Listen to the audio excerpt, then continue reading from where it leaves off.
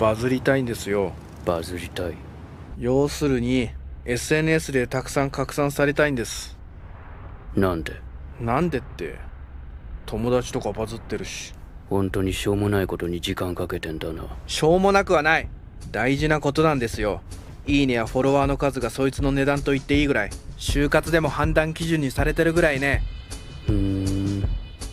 どういうのがバズるんだ？単純に笑えるのもそうだしあとは感動系かスカッとするような完全懲悪系とかあとは外国人目線からの日本のジェンダー論とかかな。例えば？例えばで言うとこないだスタバで原稿書いてたら隣の席から「歯医者行きたくないな。虫歯多いって愛された証拠なんだよ」赤ちゃんの頃に親から食べ物を口移しあるいはスプーンを強要してたってことだからね。マジで？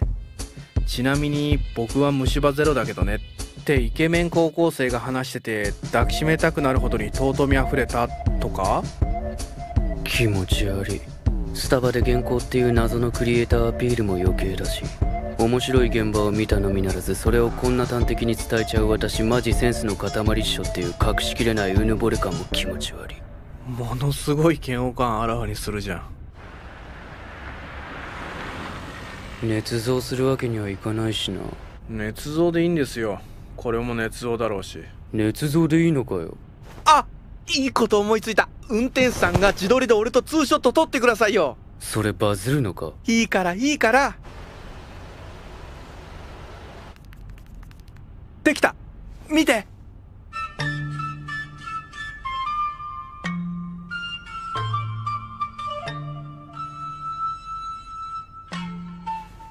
そんなんでバズるかよいい人系もバズりやすいからつかバズるって言葉早速使いこなしてますね。それ顔にモザイク入れた方が。あ運転手さんの？こういうの嫌がる人いますもんいやおね客さんに。なんで自らなんですか？俺の顔は個人あるいは R18 かよ